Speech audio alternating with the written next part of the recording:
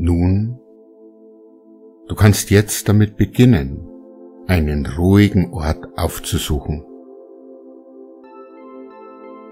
Am besten legst du dich in ein Bett oder in eine Couch oder einfach auf eine Isomatte, auf der du es dir ganz bequem machst.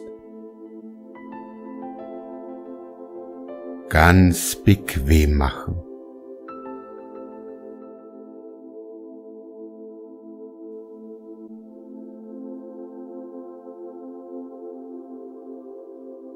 Ruhen. Einfach nur ruhen.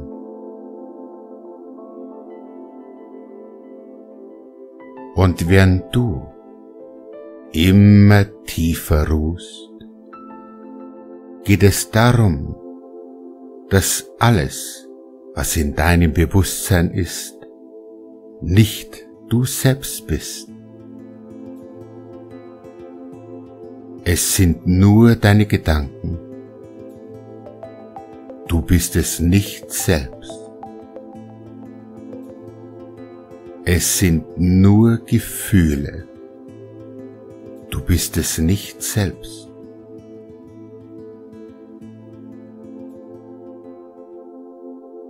Und dahinter ist dieses immerwährende Bewusstsein, in dem alles entsteht. Dieses immerwährende Bewusstsein, in dem alles entsteht. Deine Gedanken, deine Gefühle, die Emotionen, Emotionen Sie sind viel mehr als nur ein Lächeln. Und du weißt es eigentlich ganz genau. Du kannst immer sagen, es ist nicht mein eigentliches Selbst. Denn dein eigentliches Selbst war schon immer da.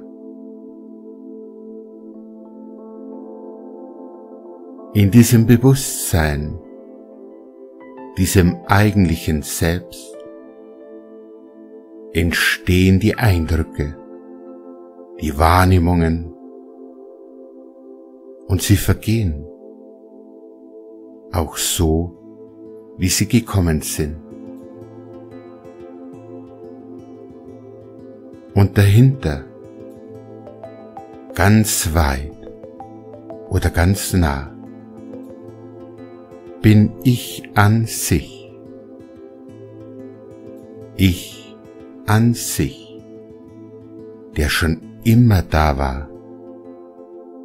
Der, der schon immer da war.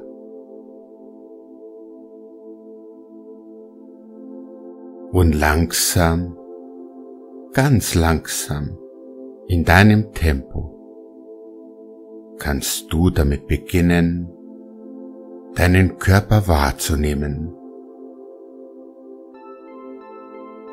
Es beginnt mit deinen Füßen, die auf dem Boden ruhen oder auch im Bett, auf der Couch. Ganz entspannt, ganz locker. Die vielen kleinen Muskeln in den Füßen. Sie schlafen. Und wahrnehmen kannst du den linken großen Zeh. Ganz am Ende beginnen beim linken großen Zeh. Wahrnehmen. Wie er sich anfühlt. Der linke große Zeh. Fühlen.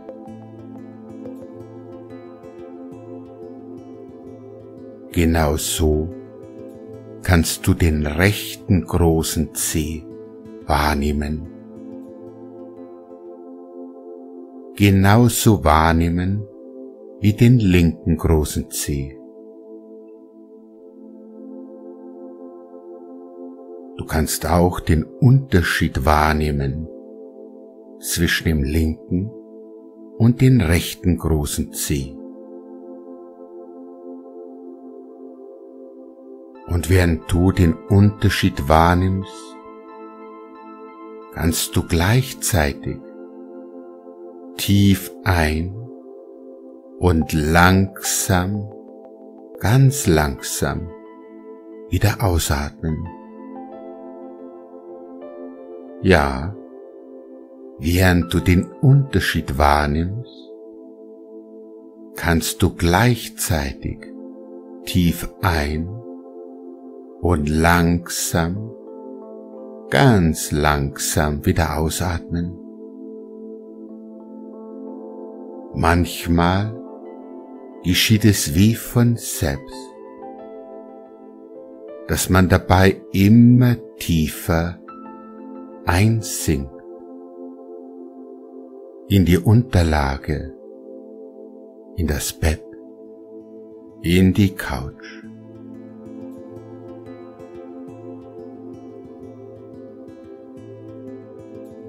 Und auch mit geschlossenen Augen kann man alles sehen, vielleicht aus der Erinnerung heraus.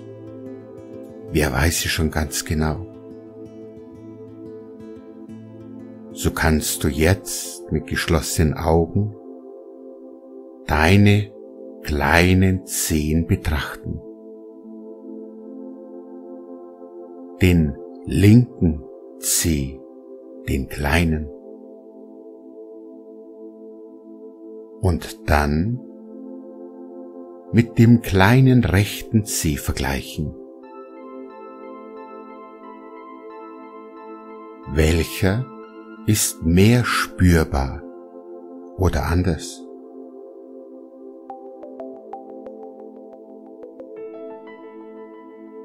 Und wenn du es wahrnehmen konntest, vielleicht mehr oder weniger, kannst du auch die anderen zehn gemeinsam fühlen.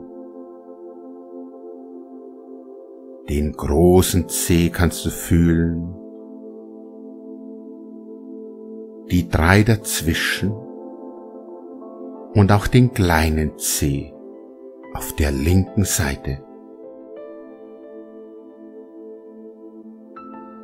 Und genau so kannst du die Zehen auf der rechten Seite fühlen.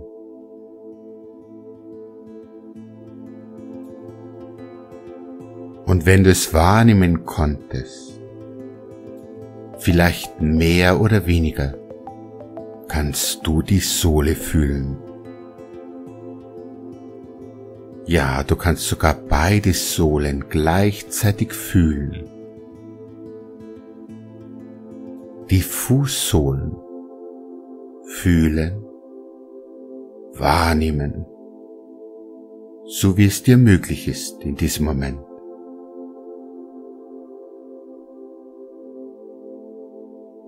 Und vielleicht kannst du sogar die Oberseite fühlen. Die Oberseite deiner Füße.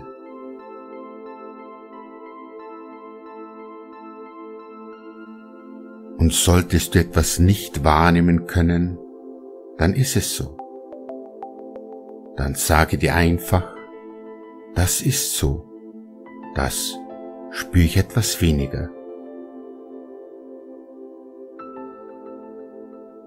So versuche genauso die Verse zu fühlen. Die rechte und die linke Ferse. Und du kannst sie vergleichen.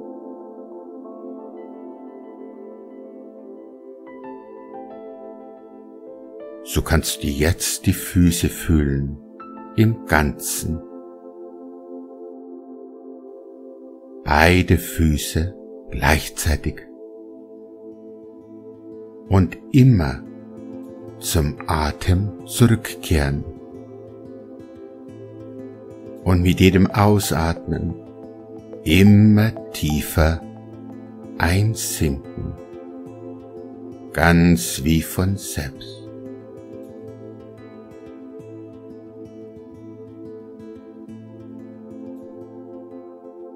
Wenn du nun beginnst, die Wade mit dem Schienbein zu vergleichen, kannst du den Unterschied herausfinden. Wo ist mehr Lockerheit? Am Schienbein oder an der Wade?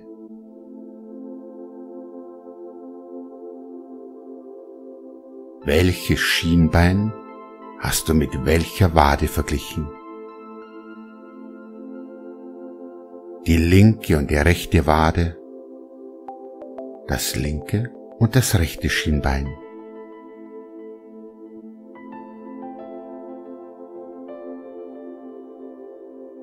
So kannst du dich jetzt in die Knie hineinfühlen, genauso.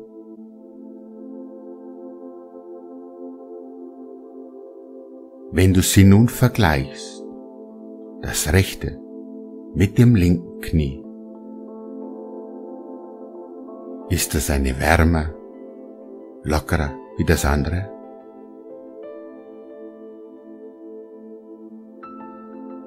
Und wie fühlen sich deine Oberschenkel an? Beide anders oder gleich? Eins lockerer wie das andere? Deine Beine Sie ruhen auf der Unterlage. Versuche die Unterlage, auf der die Beine liegen, wahrzunehmen. Und weil du alles mehr oder weniger wahrnehmen konntest, kannst du deine Beine wie aus Guss fühlen, schwer wie Blei.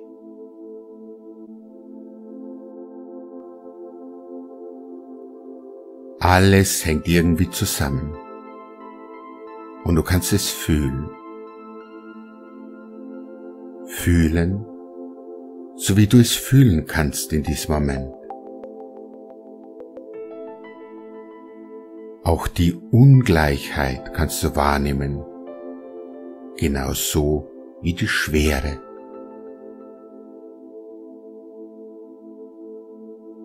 Mit geschlossenen Augen kannst du den Unterkörper betrachten,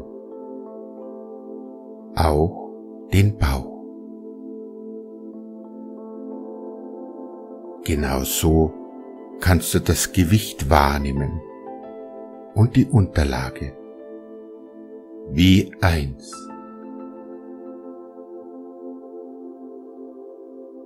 Auch der Rücken, du nimmst ihn wahr, deinen Rücken. Die Unterlage, auf der er liegt.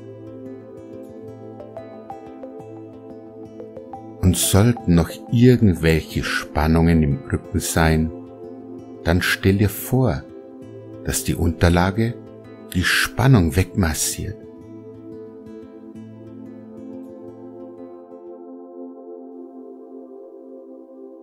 Und genau so kannst du den Brustkorb wahrnehmen. Genauso wie die Atmung. Nicht du atmest, es atmet dich. Langsam ein und langsam wieder aus. Die Bauchdecke oder der Brustkorb. Wer dehnt sich mehr aus?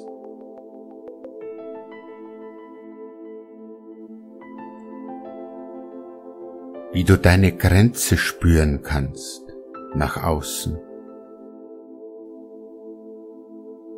Den Raum, den du einnimmst. Und deine Schultern. Diese Schultern, die alles tragen. Sie dürfen sich jetzt ganz lockern. Jegliche Last lässt du einfach los. Jetzt, weil es wichtig und richtig ist.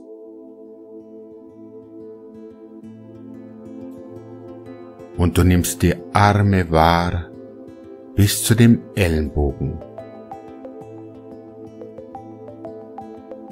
Und jetzt nimmst du die Unterarme und das Handgelenk wahr. Das Handgelenk links, weil du es nun mit dem rechten Handgelenk vergleichst.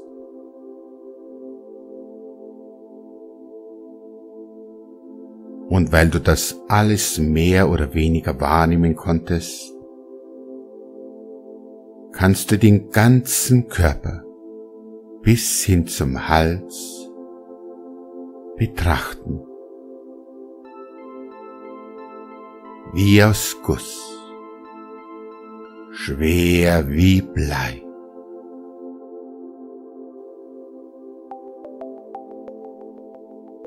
Du kannst vielleicht das Gefühl haben, dass du dich nicht mehr bewegen kannst. Dann ist es so. Weil alles verbunden ist, so wie auch du verbunden bist. Alles ist miteinander verbunden, sogar die Unterlage.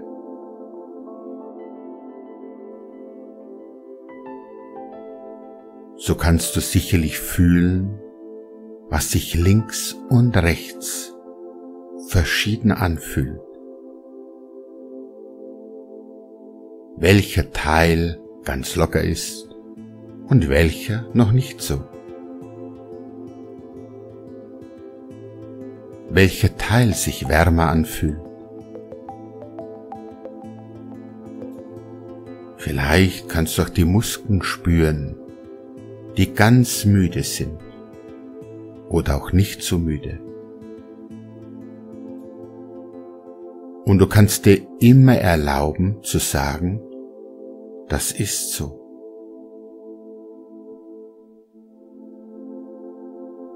Versuche den Nacken wahrzunehmen, den, der den Kopf trägt und den Kopf selber Fühle den Nacken und den Kopf. Die Gesichtsmuskeln ganz locker und ganz entspannt.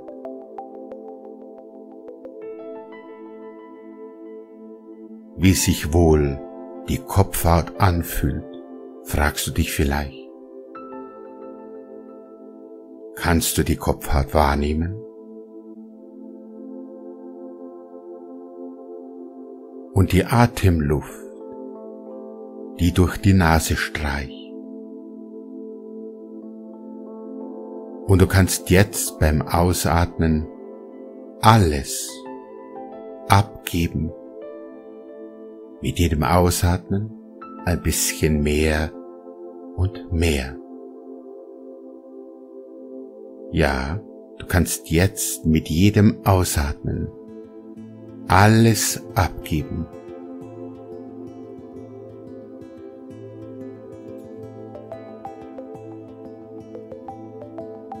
Du kannst die Zunge leicht an den Gaumen legen, hinter die oberen Zähne, den Kiefer dabei leicht öffnen, ganz locker. Und beim Ausatmen das Gefühl haben, dass du alles abgegeben hast, was du nicht mehr brauchst und was nicht zu dir gehört.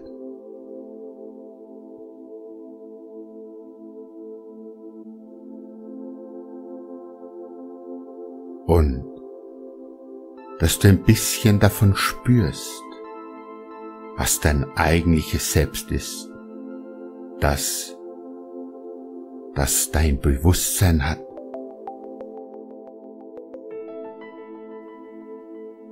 Und in diesem Bewusstsein treten die Gefühle auf, die wieder vergehen.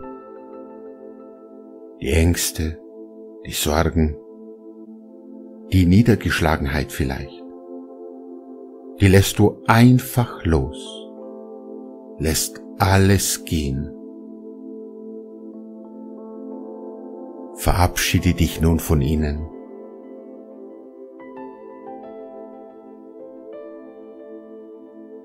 Die Freude, die Lebensenergie und die Zuversicht nimmt dein Bewusstsein an und du bist dankbar dafür. In diesem Bewusstsein treten die Gedanken auf.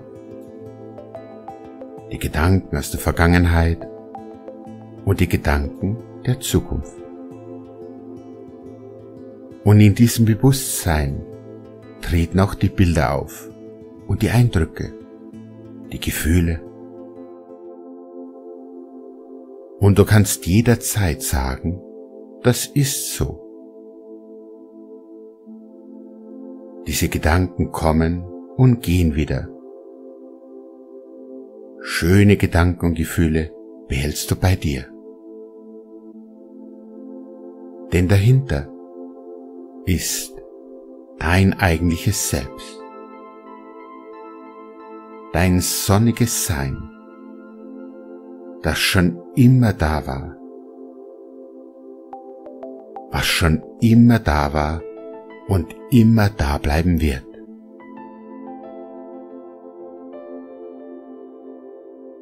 Nehme dir nun einen Augenblick Zeit, um diesen Zustand zu genießen, in dem du nur im Hier und Jetzt in deinem Körper bist, voll positiver Gedanken und Energien.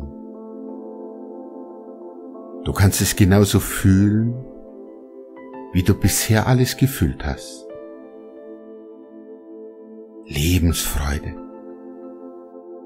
Lebensenergie, eine gewisse Unbekümmertheit, eine Leichtigkeit, leicht wie eine Feder. Und du bist es dir wert. Du solltest diese Meditation immer, wenn möglich täglich wiederholen. Denn mit jeder Wiederholung lernst du und es gelingt alles besser und besser. Nehme dir einen Moment Zeit, um diese Meditation zu beenden und diese Ruhe und diese schönen Gefühle mitzunehmen in den Alltag oder in den Schlaf, ganz wie du willst. Lebensfreude, Lebensenergie, eine gewisse Unbekümmertheit, eine Leichtigkeit, leicht wie eine Feder. Und du bist es dir wert.